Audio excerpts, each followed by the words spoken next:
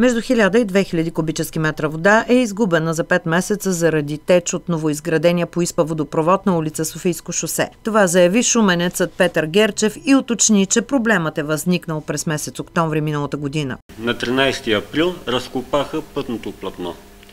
И тогава се установи, че на дълбочина около 70 см в основата на пътното платно филтрира тече вода. Изтичането е може би около тръба, около, цол, около половин цол.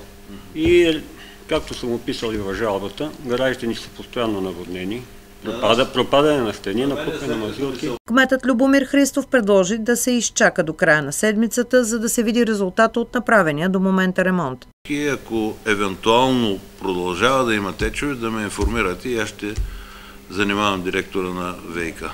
Група граждани, които живеят на улица Цар Иван Александър 116, попитаха за собствеността на терена, на който са направили гаражите си. Двора се знаеше, че е на собствениците. И до ден днешен никой от собствениците, живущи в блока, не е уведомен кога, как е станал този двор общинска собственост. Терена, върху който са изградени гаражните клетки, ще бъде отдаден на търг, каза кметът и допълни, че решението за това ще бъде взето на предстоящото заседание на Общинския съвет. Според него, собствениците на гаражи ще бъдат своевременно информирани, за да ги премахнат.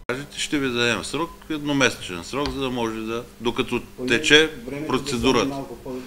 Докато тече процедурата, то сега ще бъде прието на Общинския съвет, ще се изчака 14 дена, след като мине 14 дена, обявяваме търга, ще мине един месец, така че то, този, това време ще ви даде възможност да се отстранят. Кметът обеща да провери кога и по какъв начин терена е станал общинска собственост.